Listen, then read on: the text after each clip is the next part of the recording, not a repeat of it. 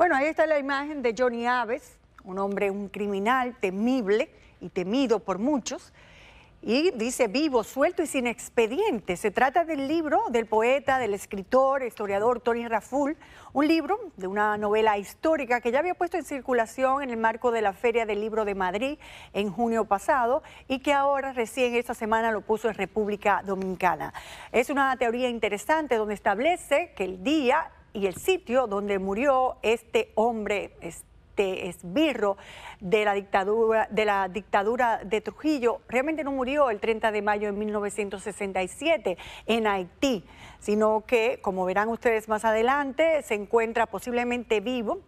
Eh, vivió tranquilamente en Estados Unidos, posiblemente con una cirugía plástica, y anduvo tan campante sin que nadie realmente nunca pidiera su extradición y que fuera juzgado por los tribunales dominicanos por los crímenes cometidos en la era de Trujillo. Veamos esta teoría, esta tesis de la novela histórica de Tony Raful y tendremos también la opinión de otras personalidades para que nos digan la posibilidad de que esto sea cierto. Me llamo John William Aves García. Nací el 27 de marzo de 1924 en la entonces ciudad de Santo Domingo de Guzmán. Pero en realidad yo nací a la vida útil y al servicio de mi país el día que Trujillo me recibió en el Palacio Nacional. Así inicia la historia de Johnny Aves, el jefe del Servicio de Inteligencia Militar entre los años 1958 al 61 que se inscribió en la historia dominicana como la mano ensangrentada del dictador Rafael Leónidas Trujillo. Aves se encargó de implementar los mecanismos de tortura más sanguinarios contra los que se oponían al régimen u ofendían al presidente. Yo le escribí una carta a Trujillo pidiéndole una entrevista. Quien cuenta esa historia es el escritor e historiador Tony Raful Varios años de investigación dedicada y más de una veintena de testimonios le dan a Raful para asegurar que Aves no murió el 30 de mayo de 1967 en Haití y está, tal como reza el título de su más reciente obra escrita, vivo, suelto y sin expediente. En apenas tres años, de duración del ejercicio del poder represivo o de control de los opositores a la dictadura de Trujillo, Johnny Aves se convirtió en el más represivo, en el más criminal de todos los oficiales o de todos, eh, digamos, los dirigentes de la persecución política. El teniente coronel del Ejército Nacional, Johnny Aves García, fue nombrado mediante un decreto como director general de seguridad el 28 de mayo de 1958 en pleno declive de la dictadura de Trujillo. Para ese entonces, ya el dictador vivía los años de un régimen desgastado, con una oposición firme y la desaprobación tardía de la Iglesia Católica. El gobierno de los Estados Unidos también se incluye en la fórmula. No fue una casualidad entonces que se llevara a Aves a dirigir esa dependencia de represión a los antitrujillistas tenía una asesoría de un alemán que estaba aquí, que había tenido experiencia en la época de Hitler, había viajado a México y a otros sitios, conocía otras organizaciones y creo que él era la persona que tenía el más alto nivel de conocimiento en lo que era la inteligencia política.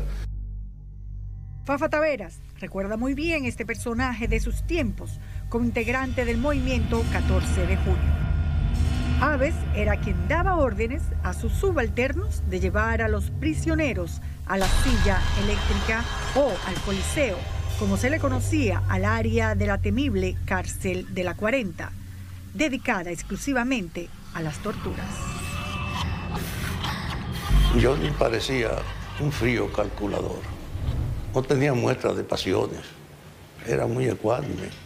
Y la tortura, yo siempre lo vi manejarla en función de algún propósito.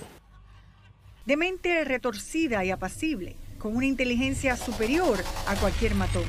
Terminó trabajando con la Agencia Central de Inteligencia, CIA, e involucrado con los atentados de todo aquel que abriera la boca en contra del dictador. Los cargos que desempeñó Aves antes de convertirse en el jefe de inteligencia le ampliaron su bagaje para responder con cierta facilidad a los mandatos del tirano, por más caprichosos que fueran participó en el intento de matar al presidente Betancourt de Venezuela, eh, participó en la muerte de manera destacada del presidente de Guatemala, eh, participó Castillo Armas, participó en muerte de exilados dominicanos en México, en Centroamérica, en Cuba, en Estados Unidos.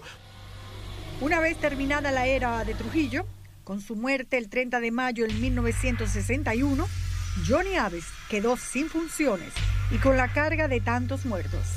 El periódico El Caribe de septiembre de 1966 contaba que Aves habría salido del país un mes después de la muerte de Trujillo.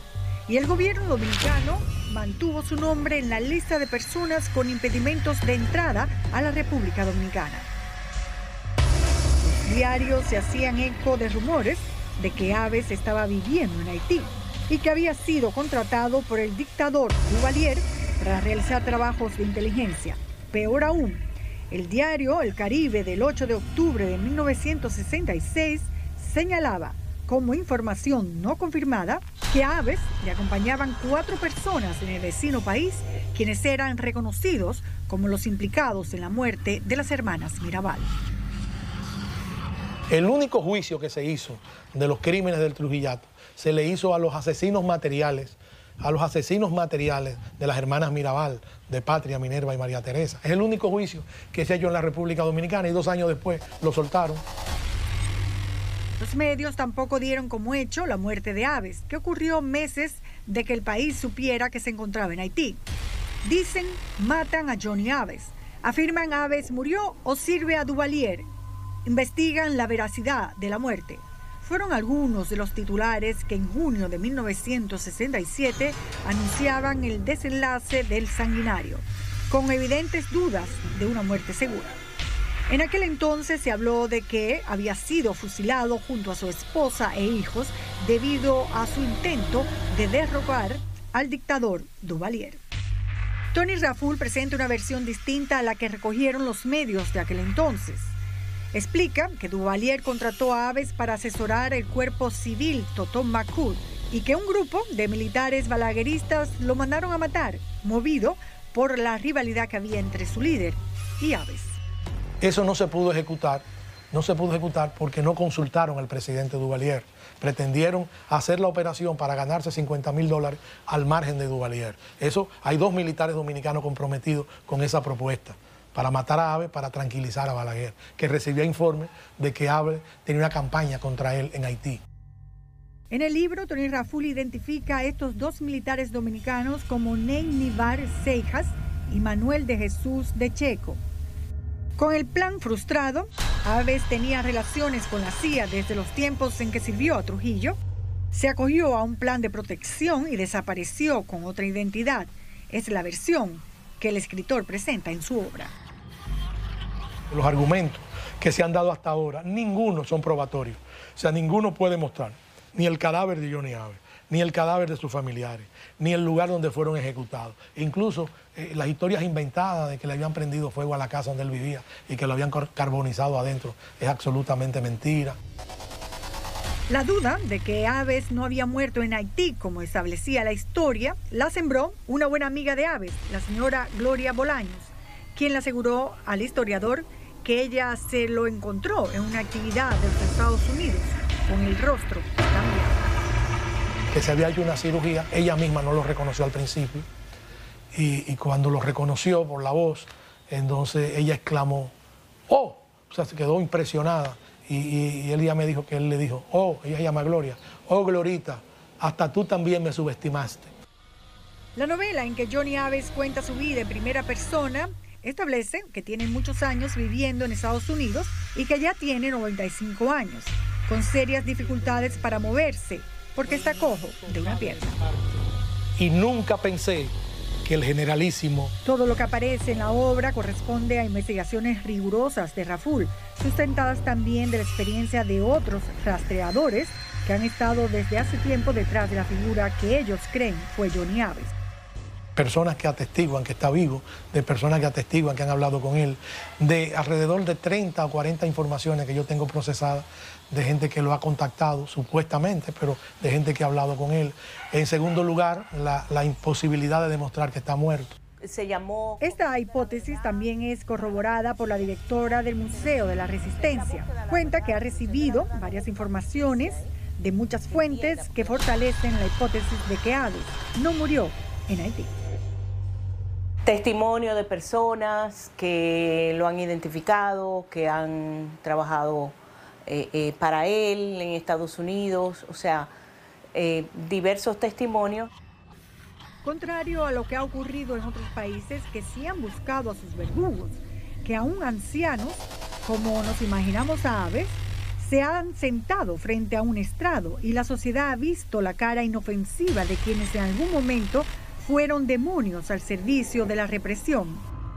Ahora mismo hay juicios en Argentina, más de uno, eh, y condenas. Eh, por poner ejemplo, en América Latina, los hubo, hubo juicios eh, en Guatemala, hay juicios en Uruguay, en Chile. Es sorprendente como los israelitas nunca han cesado de buscar a sus verdugos y desde ese punto de vista no importa que sean viejos, buscan, pero aquí nunca ha habido interés.